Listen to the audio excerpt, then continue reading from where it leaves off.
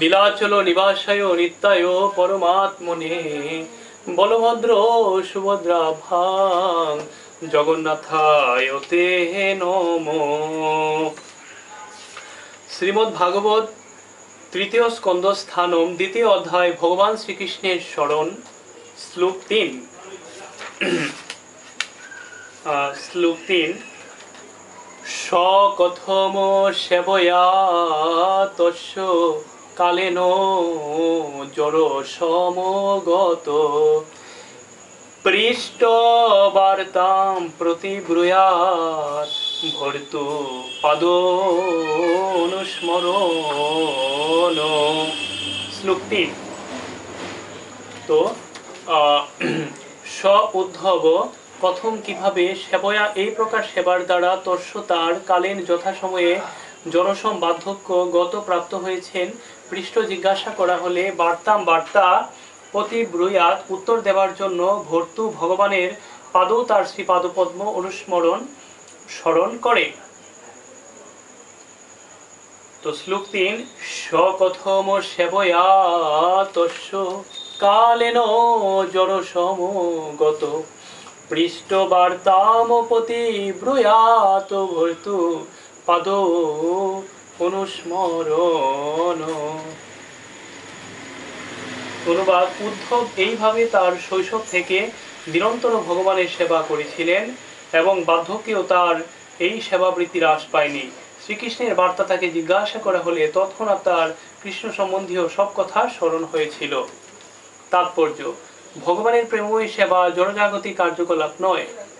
ভক্তের সেবা বৃত্তি ধীরে ধীরে বৃদ্ধি পায় এবং তা কখনো শিথিল হয় না। সাধারণত বৃদ্ধ বয়সে মানুষ জনজাগতিক কার্যকলাপ থেকে অবসর গ্রহণ করে, কিন্তু অপ্রাকৃত ভগবত সেবায় অবসর গ্রহণের কোনো প্রশ্নই ওঠে না। পক্ষান্তরে বয়স বৃদ্ধির সঙ্গে সঙ্গে সেবার প্রবণতা বৃদ্ধি পায়। অপ্রাকৃত সেবায় কখনোই তৃপ্তি হয় না এবং তাই তা থেকে অবসর গ্রহণের প্রশ্ন ওঠে না।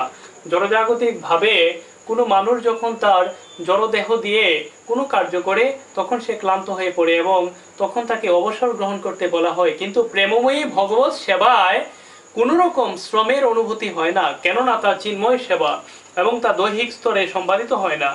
দৈহিক স্তরে সেবা বয়োবৃদ্ধির সঙ্গে সঙ্গে শিথিল হয়, কিন্তু আত্মা কখনো জরাগ্রস্ত হয় না এবং তাই চিন্ময় স্তরে সেবা কখনো ক্লান্তিজনক নয়। নিঃসন্দেহে উদ্ধব বৃদ্ধ হয়েছিলেন, কিন্তু তার অর্থ এই নয় যে তার আত্মা বৃদ্ধ হয়েছিল। তখন তার সেবার মনোভাব অপ্রাকৃত স্তরে পূর্ণতা প্রাপ্ত হয়েছিল এবং তাই বিদুর তাকে ভগবান শ্রীকৃষ্ণের সম্বন্ধে প্রশ্ন করা মাত্রই তৎক্ষণাৎ তার পরম প্রভুর প্রসঙ্গে প্রতিটি কথা স্মরণ হয়েছিল এবং তার জনজাগতিক স্তরে দেহচেতনার বিস্মৃতি হয়েছিল। এটি হচ্ছে ভগবানের শুদ্ধ ভক্তির লক্ষণ, যা পরে মাতা দেবহূতির প্রতি ভগবান কপিল দেবের উপদেশ প্রসঙ্গে ব্যাখ্যা করা হবে। লক্ষণং ভক্তি যুগস্য ইত্যাদি। তো শ্লোক চার